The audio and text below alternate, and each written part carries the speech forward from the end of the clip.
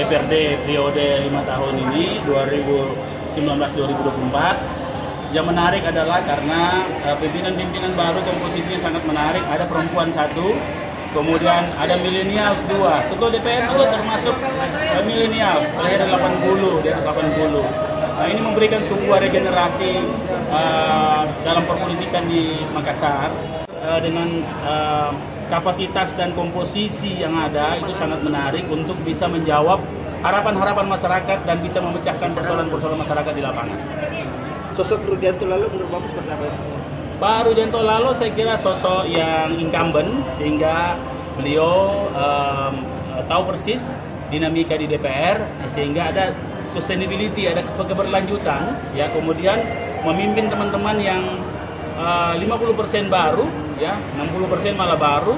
Nah sehingga saya kira ini sebuah uh, regenerasi yang menarik dalam kepemimpinan di DPRD.